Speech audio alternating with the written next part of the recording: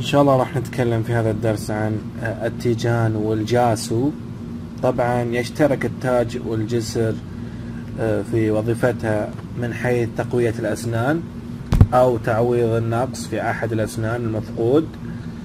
أيضا بسبب الخلع أو غيرها من الأمراض الموجودة في الأسنان يستخدم التاج في تغطية السن التالف بأكمله. لأنه آه، إلى جانب استخدامه في تقوية السن يعمل على أيضا تحسين منظر وشكل الأسنان التالفة. وأيضا يمكن أنه يقدر يعدل آه، وضعية آه، الأسنان بالنسبة لصف الأسنان الموجودة عليه.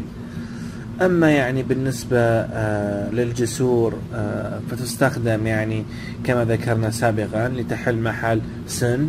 أو أكثر قد فقدوا آه، لأي سبب من الأسباب. أيضا حيث يقام الجسر على الفراغ الناتج عن السن المفقود وأيضا تثبيت الجسور على الأسنان الطبيعية الموجودة أصلا آه، أو على مواد تزرع حول آه، فراغ السن أو الأسنان آه، أو على الأسنان التي فقدت.